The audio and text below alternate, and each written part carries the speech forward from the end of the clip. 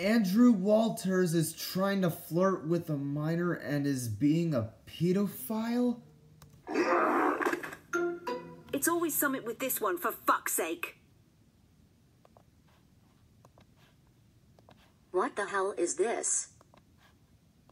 Okay, we're not going through that again.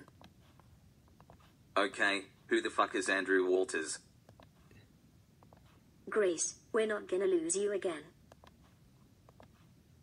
Looks like we got ourselves another damn pedophile.